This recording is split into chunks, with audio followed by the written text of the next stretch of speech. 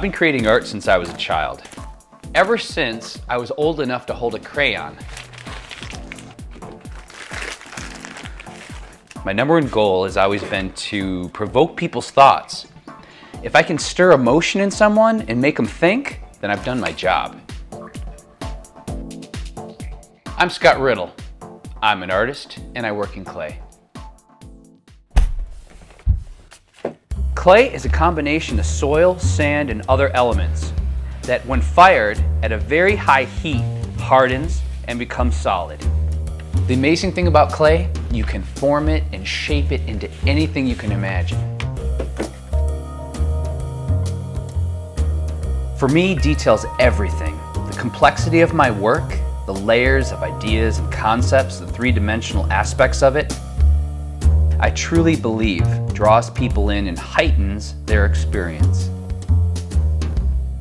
Clay is powerful because you can take something that's literally like mud on the ground and create something like fear and passion and love and people react to that. They feel it.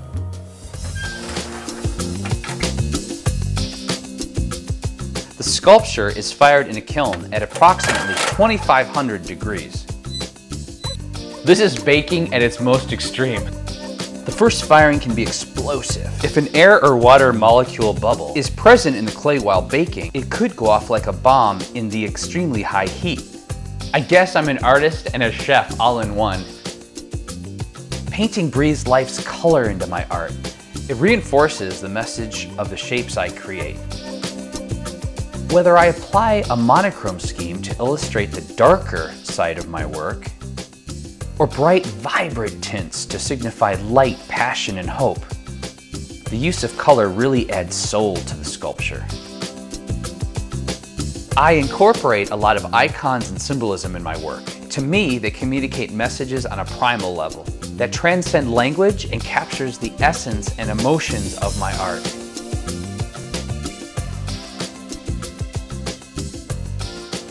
It takes months to make one of these one-of-a-kind pieces lot of long, hard hours go into each one, but it really is a labor of love.